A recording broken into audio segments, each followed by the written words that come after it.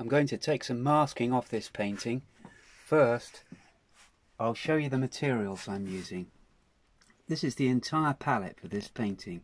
M. Graham Paints, Nickel Quinacridone Gold, Phthalocyan Blue, Quinacridone Rose, Cobalt Blue, Naples Yellow. Any of the quinacridone reds will do.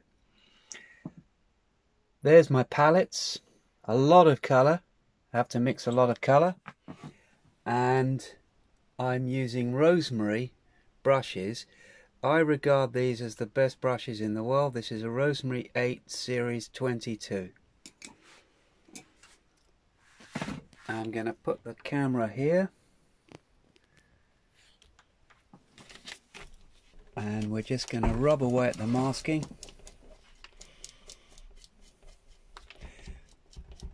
For the highlights on these rocks